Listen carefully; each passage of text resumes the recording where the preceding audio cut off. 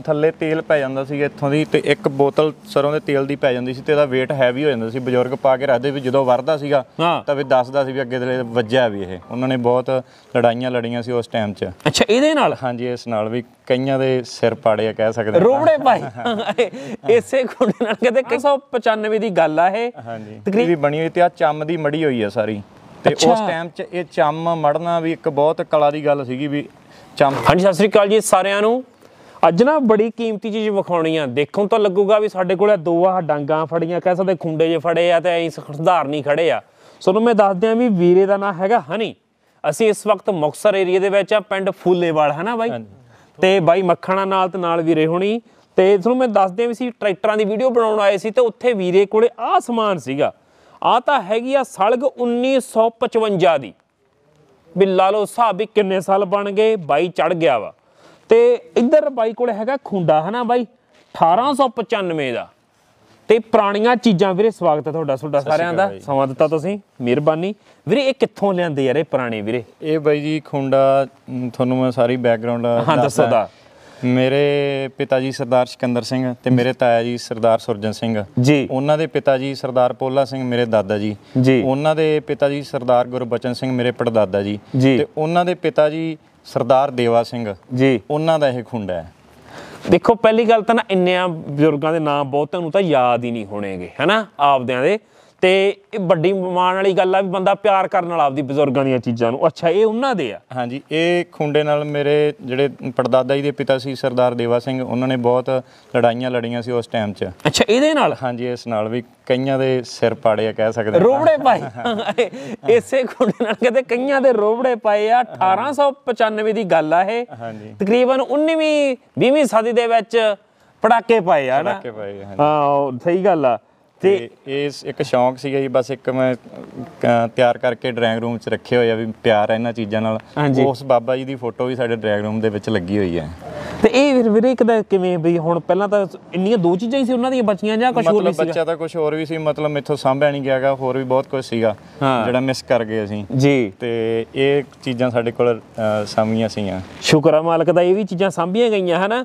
ਦੇਖੋ ਇਹ ਮੁਹੱਬਤ ਆ ਦਰਸ਼ਕੋ ਤੁਹਾਡੀ ਮੈਂ ਅੱਗੇ ਵੀ ਕਹਿਣਾ ਹੁੰਨਾ ਵੀ ਜਦੋਂ ਇਹਦੇ ਨਾਲ ਲੋਕ ਜਾਗਰੂਕ ਵੀ ਹੁੰਦੇ ਆ ਬਾਈ ਹਨਾ? ਪੁਰਾਣੀਆਂ ਚੀਜ਼ਾਂ ਲੋਕ ਸਾਂਭਣ ਲੱਗੇ। ਆ ਹੈਗੀ ਆ ਸਲਗ ਹਨਾ ਨਿੱਕੀ ਜੀ? ਹਨਾ ਇਹ ਕਾਦੇ ਵਾਸਤੇ? ਲਾਂਗਾ ਲੂੰਗਾ ਹਾਂਜੀ ਇਹ ਸਲੰਗ ਮੇਰੇ ਦਾਦਾ ਜੀ ਸਰਦਾਰ ਪੋਲਾ ਸਿੰਘ ਉਹਨਾਂ ਦੇ ਨਾਨਕੇ ਸੀਗੇ ਆਲਮ ਵਾਲੇ ਜੀ। ਜੀ। ਉਹਨਾਂ ਨੇ ਇੱਕ ਜਦੋਂ ਬੱਚਾ ਨਾਨਕੇ ਜਾਂਦਾ ਤਾਂ ਨਾਨਕੇ ਪਰਿਵਾਰ ਨੂੰ ਬਹੁਤ ਆਪਦੇ ਦੋਤਿਆਂ ਨਾਲ ਮੋਹ ਹੁੰਦਾ ਹੈ। ਸਹੀ ਆ। ਤੇ ਇਹ ਉਦੋਂ ਛੋਟੇ ਟਾਈਮ 'ਚ ਜਦੋਂ ਮੇਰੇ ਦਾਦਾ ਜੀ ਛੋਟੇ ਸੀਗੇ ਉਦੋਂ ਨੇ ਇੱਕ ਪਿਆਰ ਦੇ ਤੌਰ ਤੇ ਇੱਕ ਨਿਸ਼ਾਨੀ ਬਣਾ ਕੇ ਦਿੱਤੀ ਅੱਛਾ। ਛੋਟੀ ਬਣਾਤੀ। ਉਹਨੂੰ ਹਨਾ ਹਾਂਜੀ ਛੋਟੀ ਬਣਾ ਕੇ ਦਿੱਤੀ। ਮਤਲਬ ਇਹਨੂੰ ਸਲੰਗ ਕਹਿੰਦੇ ਆ ਜੀ। ਸਲੰਗ ਕਹਿੰਦੇ ਆ ਵੀ ਆਹ ਦੇਤੀ ਗਿਫਟ ਚ ਦੇਤੀ ਜਿਵੇਂ ਹੁਣ ਅੱਜ ਕੱਲ ਕਿਤੇ ਲੋਕ ਫੋਨ ਦੇ ਦਿੰਦੇ ਆ ਹਨਾ। ਜੋ ਹਨਾ ਜਵਾਗ ਜਾਂਦੇ ਆ ਅੱਬਲ ਤਾਂ ਜਗਾਂ ਵਾਲੇ ਲੈਪਟਾਪ ਨੂੰ ਹੱਥ ਲਾਉਂਦੇ ਆ ਵੀ ਸਾਡੇ ਗੇਮਾਂ ਕੱਢ ਲਈਏ ਇਹਦੇ ਵਿੱਚੋਂ। ਪਿੰਡ ਦੇ ਮਿਸਤਰੀ ਦੀ ਬਣੀ ਹੋਈ ਤੇ ਆ ਚੰਮ ਦੀ ਮੜੀ ਹੋਈ ਆ ਸਾਰੀ। ਤੇ। ਉਸ ਟਾਈਮ 'ਚ ਇਹ ਚੰਮ ਮੜਨਾ ਵੀ ਇੱਕ ਬਹੁਤ ਕਲਾ ਦੀ ਗੱਲ ਸੀਗੀ ਵੀ ਚੰਮ ਦੀ ਬੁੰਤੀ ਕਰਨੀ ਏਡੀ ਵਧੀਆ। ਸਹੀ ਹੈ ਵੀਰੇ ਹਰਨੇਕ ਦਿਖਾਈ? ਚੰਮ ਦੀ ਬੁੰਤੀ ਆ ਸਾਰੀ। ਆ ਚੰਮ ਦੀ ਬੁਣਤੀ ਆ ਨਾ ਵੀਰੇ। ਤੇ ਇੱਕ ਇਹ ਬੁਣਨਾ ਔਖਾ ਹੁੰਦਾ ਸੀ ਇੱਕ ਗੱਡੇ ਦੇ ਮੂਹਰੇ ਜਿਹੜਾ ਹੁੰਦੀ ਆ ਉਹਨੂੰ ਵੀ ਰੱਸੇ ਦੇ ਨਾਲ ਬੁਣਨਾ ਬਹੁਤ ਔਖਾ ਹੁੰਦਾ ਸੀ ਤਕਰੀਬਨ 2.5-3 ਕਿਲੋ ਰੱਸਾ ਲੱਗਦਾ ਸੀ ਉਹਦੇ ਤੇ। ਇਹ ਵੱਡੀ ਚੀਜ਼ ਆ ਬਾਈ ਸਾਂਭੀ ਹੋਈ ਆ ਨਾ ਬਹੁਤ ਰੰਗ ਰੁੰਗ ਕਰ ਲਿਆ ਵੀਰੇ ਤੁਸੀਂ। ਤੇ ਇੱਕ ਤੁਸੀਂ ਇਹਦੀ ਦੱਸਦੀ ਸੀ ਵੀ ਕੀ ਤੇਲ ਕਿੱਥੇ ਪੈਂਦਾ ਇਹ? ਇਹਦੇ ਨਾਲ ਬਈ ਜੀ ਥੱਲੇ ਤੇਲ ਪੈ ਜਾਂਦਾ ਸੀ ਇੱਥੋਂ ਦੀ ਤੇ ਇੱਕ ਬੋਤਲ ਸਰੋਂ ਦੇ ਤੇਲ ਦੀ ਪੈ ਜਾਂਦੀ ਸੀ ਤੇ ਇਹਦਾ weight ਹੈਵੀ ਹੋ ਜਾਂਦਾ ਸੀ। ਬਜ਼ੁਰਗ ਪਾ ਕੇ ਰੱਖਦੇ ਵੀ ਜਦੋਂ ਵਰਦਾ ਸੀਗਾ ਹਾਂ। ਤਾਂ ਵੀ ਦੱਸਦਾ ਸੀ ਵੀ ਅੱਗੇ ਦੇ ਵੱਜਿਆ ਵੀ ਇਹ। ਅੱਛਾ ਤੇਲ ਨਾਲ ਕੀ ਨਰਮ ਰਹਿੰਦਾ ਸੀ ਕਿ ਕੀ ਕਰਦਾ ਸੀ ਇਹ? ਤੇਲ ਨਾਲ ਇਹ ਨਾ ਇਹਦਾ ਮਤਲਬ weight ਵੱਧ ਜਾਂਦਾ ਸੀਗਾ ਹਾਂ। ਤੇ ਇਹਦੀ ਚ ਪਕੜ ਜਿਆਦੇ ਖਰਾਬ ਨਹੀਂ ਹੁੰਦਾ ਸੀਗਾ। ਹਾਂ। ਲੱਕੜ ਖਰਾਬ ਨਹੀਂ ਹੁੰਦੀ ਸੀਗੀ ਤੇ ਵੀ ਕੁਝ ਚੀਜ਼ ਖਰਾਬ ਨਾ ਹੋਵੇ ਇਹ ਤੇ ਇਹਦਾ weight ਵਧਿਆ ਰਵੇ ਤੇ ਇਹ ਜਦੋਂ ਮੰਨ ਲਓ ਅਗਲੇ ਦੇ ਵੱਜਦਾ ਸੀਗਾ ਤਾਂ ਦੱਸਦਾ ਸੀਗਾ ਵੀ ਮੇਰੇ ਵੱਜਿਆ ਹੈ। ਤੇ ਦੱਸਦੇ ਆ ਵੀ ਇਹ ਉਹ ਖੁੰਡਾ ਵਾ ਜਿਹਦੇ ਚ 1 ਲੀਟਰ ਤੇਲ ਪੈਂਦਾ ਹੈ ਨਾ ਸਰੋਂ ਦਾ ਤੇਲ। ਪੈਂਦਾ ਲਾ ਲਓ ਸਾਹਿਬ ਵੀ ਫੇਰ ਇਹ ਆਪਦੀ ਐਵਰੇਜ ਕੱਢਦਾ ਸੀ ਹਾਂਜੀ ਫੇਰ ਆਪਦਾ ਪੈਂਡਾ ਤੈਅ ਕਰਦਾ ਸੀਗਾ ਜਿਹਦੇ ਤੇ ਮਜ਼ਬੂਤ ਬਹੁਤ ਸੀ ਨਾ ਬਾਈ ਤੇ ਅੱਗੇ ਅੱਜ ਦੇਖ ਲਓ ਕਿੰਨੇ ਸਾਲ ਪੁਰਾਣਾ ਤੇ ਅੱਜ ਵੀ ਲੱਕੜ ਦੀ ਜਿਹੜੀ ਜੇ ਵੀ ਚੀਜ਼ ਆ ਉਵੇਂ ਪਈ ਆ। ਆ ਵੀ ਇਹਦੇ ਇੱਥੇ ਤੇ ਚੰਮ ਨਾਲ ਮੜਿਆ ਹੋਇਆ ਹੈ ਤਾਂ ਚਲੋ ਅਸੀਂ ਪੇਂਟ ਥੋੜਾ ਜਿਹਾ ਉਸ ਹਿਸਾਬ ਨਾਲ ਹੋਇਆ ਤਾਂ ਪੂਰਾ ਤਿਆਰ ਨਹੀਂ ਹੋਇਆਗਾ। ਹੂੰ। ਤੇ ਆ ਥੱਲੇ ਤੇ ਲੋਹੇ ਦਾ ਆਹ ਚੜਿਆ ਹੋਇਆ ਵੀ ਥੱਲੋਂ ਇਹ ਪਾਟੇ ਨਾ ਇਹ। ਹਾਂ ਸਹੀ ਆ। ਚੰਮ ਨਾਲ ਉੱਪਰੋਂ ਕਵਰ ਇਹਨੂੰ ਕੀਤਾ ਤੇ ਹੋਇਆ। ਕਾਹਦਾ ਸੀਗਾ ਇਹ? ਬਾਂਸ ਦਾ ਹੋਊਗਾ ਜਾਂ ਕਾਹਦਾ ਹੋਊਗਾ? ਬਾਂਸ ਦਾ ਹੀ ਹੋਊਗਾ ਜੀ। ਕਿਉਂਕਿ ਰੰਗ ਕੀਤਾ ਹੁਣ ਪਹਿਚਾਣ ਨਹੀਂ ਆਉਂਦੀਗੀ ਪਰ ਗੱਲ ਇਹ ਆ ਵੀ ਯਾਰ ਬਜ਼ੁਰਗਾਂ ਦੀ ਸਾਂਭੀ ਹੋਈ ਚੀਜ਼ ਆ। ਮੈਂ ਦੱਸ ਦਿਆਂ ਵੀ ਜਿਹੜੇ ਏਰੀਏ 'ਚ ਮੈਂ ਖੜਨਾ ਵਾਂ ਮੁਕਤਸਰ ਸਾਹਿਬ ਦਾ ਏਰੀਆ ਠੇਠ ਮਲਵਈ। ਠੇਠ ਮਲਵਈ ਲੋਕ ਨੇ ਠੇਠ ਮਾਲਵਾ ਏਰੀਆ ਤੇ ਜੰਗਾਂ ਜੁੱਦਾਂ ਤੇ ਵੱਡੀਆਂ ਵੱਡੀਆਂ ਬਗਾਵਤਾਂ ਇੱਥੋਂ ਹੋਈਆਂ ਨੇ। ਜਦੋਂ ਖਦਰਾਣੇ ਦੀ ਲੜਾਈ ਹੋਈ ਨਾ ਉਦੋਂ ਵੀ ਗੁਰੂ ਸਾਹਿਬ ਦੇ ਵੀ ਇੱਥੇ ਇਸ ਧਰਤੀ ਤੇ ਪੈਰ ਪਾਏ ਹੋਏ ਆ। ਤੇ ਫਿਰ ਸ੍ਰੀ ਮੁਕਤਸਰ ਸਾਹਿਬ ਬਣਿਆ ਤੇ 40 ਮੁਕਤਿਆਂ ਨੇ ਤੇ ਸ਼ਹਾਦਤ ਦਿੱਤੀ ਸੀ ਨਾ ਬਾਈ। ਸਿੰਘਾਂ ਨੇ ਤੇ ਪੱਗ ਪਵਿੱਤਰ ਧਰਤੀ ਯਾਰ ਮਾਗੀ ਦਾ ਮੇਲਾ ਇੱਥੋਂ ਦਾ ਮਸ਼ਹੂਰ ਆ ਘੋੜਿਆਂ ਦੀ ਮੰਡੀ ਇੱਥੇ ਮਸ਼ਹੂਰ ਆ। ਤੇ ਕਿਸੇ ਸਮੇਂ ਤਾਂ ਇੱਧਰ ਬੱਟਾਂ ਦੀ ਘੁੰਮ ਕੇ ਬਾਬਰ ਵੀ ਪਰੇ ਦੀ ਹੋ ਕੇ ਲੰਘ ਜਾਂਦਾ ਹੁੰਦਾ ਸੀ ਵੀ ਇਹ ਬੰਦੇ ਬੜੇ ਜਰਵਾਣੇ ਆ ਇਹ ਕੱਬੇ ਸੁਭਾਅ ਦੇ ਆ। ਵੀ ਆਹ ਖੁੰਡਿਆਂ ਵਾਲੇ ਬੰਦਿਆਂ ਤੋਂ ਡਰਦਾ ਹੀ ਬਾਬਰ ਪਰੇ ਦੀ ਲੰਘ ਜਾਂਦਾ ਹੁੰਦਾ ਸੀਗਾ। ਇਹ ਇਤਿਹਾਸ ਆ ਇੱਥੋਂ ਦਾ। ਤੇ ਜੈਤੋ ਦਾ ਮੋਰਚਾ ਵੀ ਇਧਰ ਨਾਲ ਹੀ ਪਰੇ ਲੱਗਦਾ ਰਿਹਾ ਹਨਾ ਬਾਈ? ਤੇ ਉੱਥੇ ਵੀ ਬੇਸ਼ੁਮਾਰ ਕੁਰਬਾਨੀਆਂ ਸੂਰਮਿਆਂ ਨੇ ਕੀਤੀਆਂ। ਤੇ ਲੰਗ ਇੱਥੇ ਮੈਂ ਇਸ ਏਰੀਆ ਜਿਹੜਾ ਆਪਣਾ ਹੈਗਾ ਮੁਕਤਸਰ ਸਾਹਿਬ ਦਾ ਏਰੀਆ ਨਾ ਇਹਦੀ ਖਾਸੀਅਤ ਇਹ ਵੀ ਆ ਲੋਕ ਨਾ ਦੂਰੋਂ ਦੂਰੋਂ ਬਾਈ ਤੁਹਾਡਿਆਂ ਘਰਾਂ ਦੇ ਵਿੱਚ ਰਹਿਣ ਲਈ ਲੋਕ ਆਉਂਦੇ ਹੋਣਗੇ 15 15 ਦਿਨ ਰਹਿ ਕੇ ਜਾਂਦੇ ਹੋਣਗੇ। ਹਾਂਜੀ। ਤੇ ਉਸ ਹਿਸਾਬ ਤੇ ਖੁੱਲੇ ਘਰ ਆ ਥਾਂ ਦੇ ਤੁਸੀਂ ਜਦੋਂ ਮਰਜ਼ੀ ਆ ਜਾਓ ਤੁਹਾਨੂੰ ਨਾ ਬਾਹੋਂ ਫੜ ਕੇ ਰੋਟੀ ਪਾਣੀ ਖਵਾਈ ਬਣਾਣੀ ਤੋਰਨਗੇ। ਕਿਉਂਕਿ ਇਹਨਾਂ ਦੇ ਵਿੱਚ ਪਹਿਲਾਂ ਮਾਹੌਲ ਹੀ ਇਹ ਸਾਰਿਆ ਵਾ ਲੋਕਾਂ ਨੂੰ ਆਦਤ ਤੁਮੇ ਬਣ ਗਈ ਹੈ ਨਾ ਮਹਿਮਾਨ ਨਵਾਜ਼ੀ ਦੀ ਆਦਤ ਹੈ।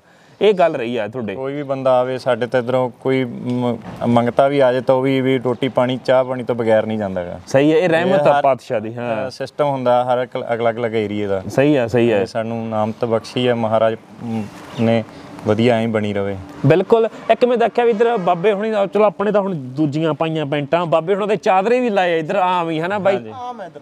ਆਮ ਆ ਚਾਦਰੇ। ਹਰ ਪਿੰਡ ਦੇ ਵਿੱਚ ਹਰ ਘਰ 'ਚ ਹਾਂ। ਕੀ ਬਣੀ ਹੈ ਸਹੀ ਆ। ਦੇਖੋ ਵਿਰਲਾ ਘਰ ਕੋਈ ਰਹਿ ਗਿਆ ਹੋਵੇ ਨਹੀਂ ਨਹੀਂ ਮੇਰੇ ਹਿਸਾਬ ਨਾਲ ਕੋਈ ਨਹੀਂ ਰਿਹਾ ਹੁਣ। ਹੂੰ। ਤਕਰੀਬਨ ਹਰ ਘਰ ਦੇ ਵਿੱਚ ਜਿਹੜਾ ਵੀ ਪੁਰਾਣਾ ਬਜ਼ੁਰਗ ਆ ਉਹਦੇ ਚਾਦਰਾ ਬੰਨਿਆ ਹੋਊ। ਉਹਦੇ ਚਾਦਰਾ ਬੰਨਿਆ ਹੋਊਗਾ। ਤੁਹਾਡੇ ਬੱਚੇ ਪੰਜਾਬ ਬਚਿਆ ਤੁਹਾਡੇ ਵਾਲੇ ਪਾਸੇ ਕਹਿ ਸਕਦੇ ਆ। ਕਿਤੇ ਜਿਵੇਂ ਹੁਣ ਮੁਕਤਸਰ ਜਾ ਵੜੋ ਕਿਸੇ ਵੀ ਸ਼ਹਿਰ ਦੇ ਵਿੱਚ ਜਾ ਵੜੋ ਉੱਥੇ ਤੁਹਾਨੂੰ ਚਾਦਰਿਆਂ ਵਾਲੇ ਆਮ ਹੀ ਮਿਲਣਗੇ। ਸਹੀ ਗੱਲ ਆ ਸਹੀ ਗੱਲ ਆ। ਤੇ ਬੜਾ ਚੰਗਾ ਲੱਗਿਆ ਬਾਈ ਮਿਲ ਕੇ। ਤੇ ਚੀਜ਼ਾਂ ਸਾਂਭ ਕੇ ਰੱਖੀਆਂ ਹੋਈਆਂ ਤੁਹਾਡੇ ਘਰ ਦੇ ਵਿੱਚ ਵੀ ਹੋਣਗੀਆਂ। ਮੈਂ ਕਹਿੰਦਾ ਡਰਾਇੰਗ ਰੂਮ ਦੇ ਵਿੱਚ ਰੱਖੀ ਹੋਈ ਚੀਜ਼ ਇਹ ਸਭ ਤੋਂ ਮਹਿੰਗੀ ਤੇ ਸਭ ਤੋਂ ਖੂਬਸੂਰਤ ਚੀਜ਼ ਹੋਊਗੀ। ਜੋ ਆਪਾਂ ਬਾਜ਼ਾਰ ਚੋਂ ਆਰਟੀਫੀਸ਼ੀਅਲ ਕਈ ਗਿਫਟ ਲੈ ਕੇ ਰੱਖੇ ਨੇ ਸ਼ਾਇਦ ਉਹਨਾਂ ਉਹਦਾ ਉਹਨਾਂ ਰੋਬ ਨਹੀਂ ਬਾਈ। ਹਾਂ ਆ ਤੁਸੀਂ ਟੇਬਲ ਤੇ ਰੱਖੀ ਹੋਈ ਐਂ ਕਰਕੇ। ਇਹ ਤਾਂ ਜਦੋਂ ਡਰਾਇੰਗ ਰੂਮ 'ਚ ਰੱਖਿਆ ਹੁੰਦਾ ਪਹਿਲਾਂ ਜੋ ਕੋਈ ਸਾਡਾ ਗੈਸਟ ਆਉਂਦਾ ਤਾਂ ਇਹ ਪੁੱਛਦਾ ਵੀ ਇਹ ਕੀ ਹੈ? ਪਹਿਲਾਂ ਇਹਦਾ ਇਤਿਹਾਸ ਹੀ ਦੱਸੀਦਾ ਸੀ। ਤੇ ਹਾਂ ਉਹ ਬਾਬਾ ਜੀ ਦੀ ਸਾਡੇ ਡਰਾਇੰਗ ਰੂਮ ਦੇ ਵਿੱਚ ਫੋਟੋ ਲੱਗੀ ਹੋਈ ਹੈ। ਜੀ ਜੀ। ਤੇ ਵੀ ਦੱਸੀ ਦਾ ਮਾਣ ਮਹਿਸੂਸ ਹੁੰਦਾ ਵੀ ਸਾਡੇ ਬਜ਼ੁਰਗ ਹਾਂ। ਸਾਡੀ ਬੈਕਗ੍ਰਾਉਂਡ ਆ ਸੀ। ਬਿਲਕੁਲ ਇਹ ਚੋਂ ਪਤਾ ਲੱਗਦਾ ਤੇ ਬਰਾੜਾਂ ਦੀ ਧਰਤੀ ਕਹਿੰਦੇ ਬਰਾੜ ਜ਼ਿਆਦਾ ਇੱਧਰ। ਹਾਂਜੀ ਸਾਰਾ ਸਿੱਧੂ ਵੀ ਜ਼ਿਆਦਾ ਬਰਾੜ ਵੀ ਜ਼ਿਆਦਾ ਇੱਧਰ ਹਨਾ? ਹੋਰ ਵੀ ਗੋਤ ਹੋਣਗੇ ਪਰ ਇਹ ਜ਼ਿਆਦਾ ਗੜ ਰਿਹਾ। ਕਿਉਂਕਿ ਇਧਰਲੇ ਪਾਸੇ ਮੈਂ ਕਹਿੰਦਾ ਵੀ ਫੂਲ ਕੀ ਫੂਲ ਪਰਿਵਾਰ ਵੀ ਜ਼ਿਆਦਾ ਰਿਹਾ ਵਾ ਬੀਦੋ ਵਾਲੀ ਵੀ ਤੇ ਮੇਰੇ ਖਿਆਲ ਚ ਨੇੜੇ ਪੈਂਦੀ ਹੋਣੀ ਹੈ ਨਾ ਵੀ ਨੇੜੇ ਹੀ ਆ ਗਿਆ ਫਿਰ ਉਹ ਜ਼ਿਲ੍ਹੇ 'ਚ ਹੀ ਆ ਗਿਆ ਸਾਰਾ ਹਾਂ ਸਾਰੇ ਇੱਕੋ ਖਾਨਦਾਨ ਹੀ ਸੀ ਉਹ। ਤੇ ਬਹੁਤ ਚੰਗਾ ਲੱਗਾ ਵੀਰੇ ਮਿਲ ਕੇ ਧੰਨਵਾਦ ਤੇ ਤੁਹਾਡਾ ਧੰਨਵਾਦ ਇਸ ਗੱਲੋਂ ਵੀ ਤੁਸੀਂ ਆਪ ਆਪਦੇ ਪੁਰਖਾਂ ਦੀ ਚੀਜ਼ ਨੂੰ ਸਾਂਭਿਆ। ਮੈਂ ਦਰਸ਼ਕਾਂ ਨੂੰ ਫਿਰ ਦੱਸ ਦਿਆਂ 1955 ਦੀ ਸਲਗ ਆ। ਇਹ ਸੰਨ ਫਿਰ ਕਿਵੇਂ ਕਨਫਰਮ ਹੋਏ ਮਤਲਬ? ਇਹ ਦਾਦਾ ਜੀ ਤਾਂ ਫਿਰ ਦੱਸ ਕੇ ਗਏ ਸੀ ਨਹੀਂ ਉਹਨਾਂ ਨੇ ਨੋਟ ਕਰਾਏ ਆ ਜੀ ਇਹ ਮੈਨੂੰ। ਉਹਨਾਂ ਨੇ ਪਿਛਲੇ ਈਅਰ ਡੈਥ ਹੋਈ। ਹਾਂਜੀ ਪਿਛਲੇ ਈਅਰ ਡੈਥ ਹੋਈ ਉਹਨਾਂ ਦੀ। ਅੱਛਾ। ਤੇ ਉਹਨਾਂ ਨੇ ਆ ਜਿਹੜੇ ਮੇਰੇ ਦਾਦਾ ਜੀ ਦੇ ਤੇ ਗਾਂ ਉਹਨਾਂ ਦੇ ਦਾਦਾ ਜੀ ਦਾ ਹੋਇਆ ਤੇ ਉਹਨਾਂ ਦਾ ਮੋਹ ਉਹਨਾਂ ਨਾਲ ਜ਼ਿਆਦਾ ਸੀਗਾ, ਮੇਰੇ ਮੇਰੇ ਦਾਦਾ ਜੀ ਨਾਲ ਮੋਹ ਜ਼ਿਆਦਾ ਸੀ ਤਾਂ ਜਿੰਨੀਆਂ ਗੱਲਾਂ ਮੈਂ ਨੋਟ ਕਰ ਸਕਿਆ, ਮੈਂ ਕੀਤੀਆਂ, ਜਿੰਨੀਆਂ ਉਹ ਕਰਦੇ ਸੀ ਉਹਨਾਂ ਨੇ ਨੋਟ ਕਰਕੇ ਗਾਂ ਸਾਨੂੰ ਦਿੱਤੀਆਂ। ਜੀ ਜੀ। ਯਾਰ ਮੈਨੂੰ ਤਾਂ ਐ ਲੱਗਦਾ ਵੀ ਬਾਈ ਬੋਲੀ ਜਾਵੇ ਤੇ ਮੈਂ ਸੁਣੀ ਹੋਈ ਜਾਵਾਂ ਯਾਰ। ਕਹਿੰਦੇ ਨਾ, ਜਦੋਂ ਬਜ਼ੁਰਗਾਂ ਦੀਆਂ ਗੱਲਾਂ ਚੰਗੀਆਂ ਲੱਗਦੀਆਂ ਸੁਣਨੀਆਂ ਸੋ ਵੀਰੇ, ਧੰਨਵਾਦ ਤੁਹਾਡਾ ਸਾਰਿਆਂ ਤੁਸੀਂ ਸਮਾਂ ਦਿੱਤਾ, ਮਿਹਰਬਾਨੀ। ਦਰਸ਼ਕੋ, ਅਗਲੀ ਵਾਰੀ ਹੋਰ ਕੋਈ ਨਵਾਂ ਵਿਸ਼ਾ ਲੈ ਕੇ ਮਿਲਦੇ ਆਂ ਮਿਹਰਬਾਨੀ, ਧੰਨਵਾਦ।